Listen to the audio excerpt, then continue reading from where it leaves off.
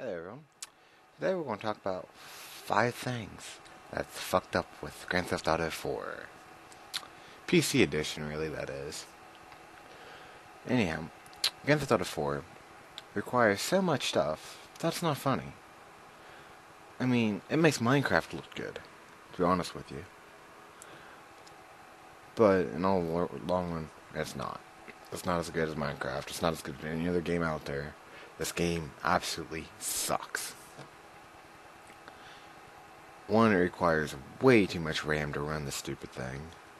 And if you have more than enough RAM, it still says you don't, then it crashes you online. Single player doesn't do it as often, but mainly multiplayer. Then that leads me to the second reason multiplayer. It sucks so bad. The servers, anyhow, somebody joins, the host of the server. The next thing you know, he leaves, and nobody gets happy with that server uh, setting, and then bamoosh, bye bye. That just irritates you because you're in the middle of a game.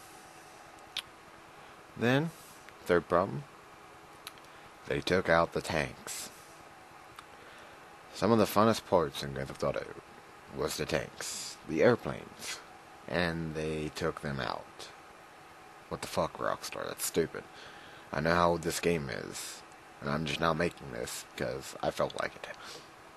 What was that? Fourth, third reason? Fourth reason. Nah, we'll do fourth reason now. Fourth reason. Seriously? How can there possibly ever be a fourth reason? There should have never been a fourth reason wrong with Rockstar to begin with. It is involved in Russia out of every single one they've ever done. Why Russia? They can do that anyhow. They don't need a game about it. Like, seriously. What happens to Russia, Russia does to you.